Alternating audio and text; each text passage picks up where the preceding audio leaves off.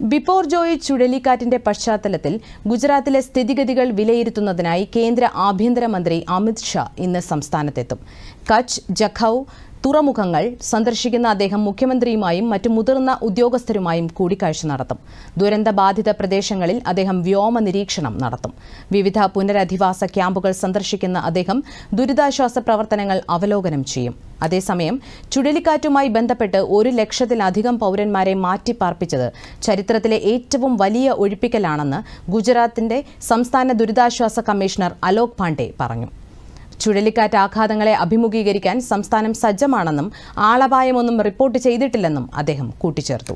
ചുഴലിക്കാറ്റ് നാശം വിതച്ച ജില്ലകളിലുണ്ടായ സാമ്പത്തികവും പാരിസ്ഥിതികവുമായ നാശനഷ്ടങ്ങൾ ഉടൻ പരിഹരിക്കുമെന്നും സംസ്ഥാന ദുരിതാശ്വാസ കമ്മീഷണർ പറഞ്ഞു.